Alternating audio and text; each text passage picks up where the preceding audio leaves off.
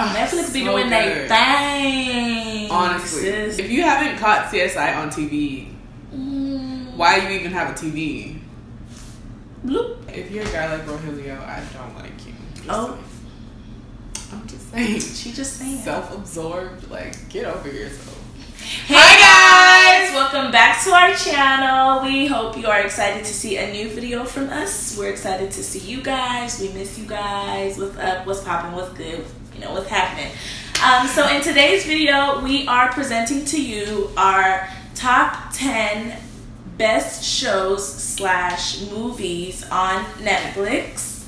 Um, Jai has five options. I have five options. We're gonna have a variety for y'all. So if you want to keep watching, keep watching, and don't forget to like, comment, and subscribe. Subscribe, you guys. Subscribe. Subscribe. subscribe, Subscribe. subscribe. Okay. If y'all have any suggestions for what y'all want to see on our channel, just leave them in the comment section down below. We will be looking at those because we want to give y'all what y'all want. You know? And also what y'all need. Yes. That's why we're doing this video. That's that's exactly why. So keep on watching and yeah. My first series would have to be The Carrie Diaries. This is for someone who just likes kind of Fun, young, like yeah. So it's basically like this teenage girl. She's like taking on the city of New York and she's developing her skills as a writer. It's a spin-off from Sex in the City. Um, so basically when she was younger. But I have, I can agree with Jai. I've watched the Carrie Diaries and I really liked it. I liked it more than I thought I would like it. Mhm. So just give it a try. Try out the first episode or watch like a couple of episodes. I've literally watched the series three times. I would probably watch it again. it's so good. I love it. So my top Netflix series, I guess, is OJ versus the People, an American crime story. Um, so if you don't know much about the OJ Simpson case, I didn't know much about the case, and I kind of wanted to get into it. So I watched OJ versus the People, and y'all, this series is so good. After watching, I, I became like obsessed with the OJ Simpson case, and I watched like other documentaries. But if you're like, if you don't know anything about the OJ Simpson case, you should watch OJ versus the People. It is so good, and it kind of it's like a recreation of the story. So it kind of just takes you through like the court case and all of that, and it's just it's really interesting and it's really good. Okay, so my next one is another series, and the series is called Shameless. Oh my gosh, guys! When I was, what was this, twelfth grade year Yeah. or something? It was over the summer. I was watching the series, and I was so obsessed. Like this is the only show that I will talk about, and I'm not the type of person to watch like a bunch of different shows. But this show, I could not stop watching. So basically, this show is like a dysfunctional family, and like the father is a drunk, and basically he has like so many kids. And his oldest daughter is like taking care of the entire family. But it's like it's like a comedy. Like it's hella funny to me. And um just think about the most dysfunctional family you could ever imagine and that's them like it's so good to me Interesting. I know. I know a lot of people who've watched Shameless. I haven't watched Shameless because I'm not really into like comedy series. But if I do want to laugh, I'd probably give that a shot because but I it's know not like, like it's a different type of comedy it's not like like it could be too corny. No, it's not corny. It's like it's like dry sarcasm. But it's not like they like sat down and wrote a comedy script. Mhm. It's just naturally funny. Mm. If that makes sense. I feel you. I feel you. So my next option is actually a movie. I think it's a Netflix original. I'm not sure, but it's called You Get Me. So basically, um, this guy and this girl. It's Bella Thorne. That that's the girl. No, but it's pretty good.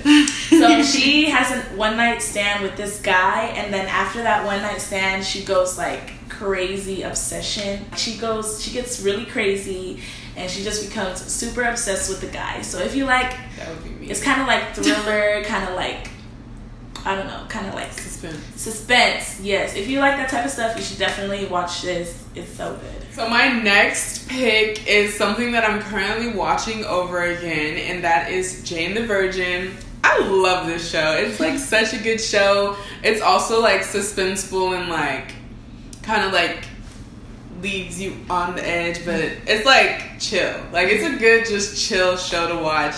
It's about this woman who, um, she's a virgin. She's like in her 20s. She's a virgin and she got artificially inseminated with another man's sperm accidentally.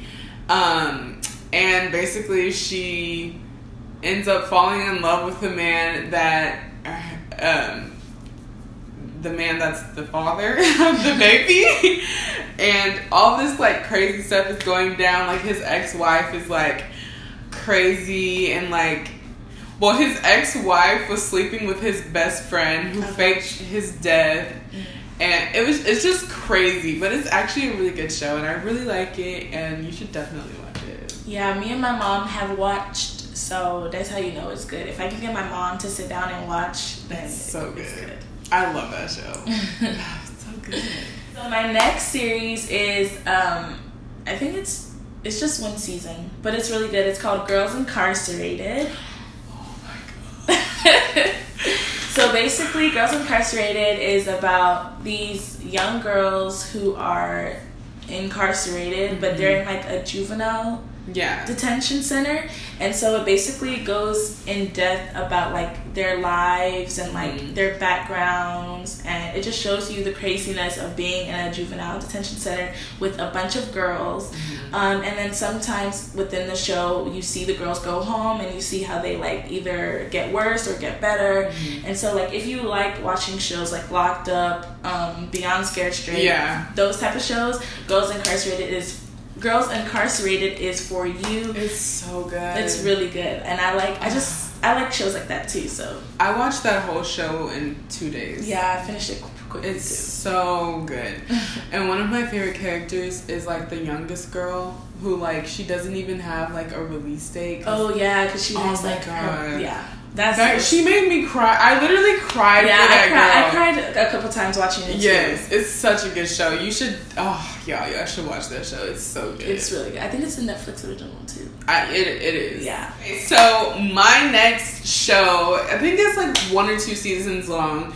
It's called Seven Seconds, and it's basically about this African American boy who gets hit by a car on his bike.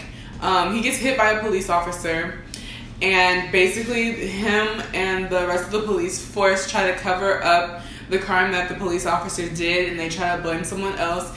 And then it like goes through the trial, and like basically shows the whole process and how the little boy who passed away didn't get justice um, for a crime that was committed upon him.